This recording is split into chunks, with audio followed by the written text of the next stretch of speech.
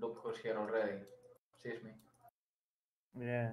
Oh my god.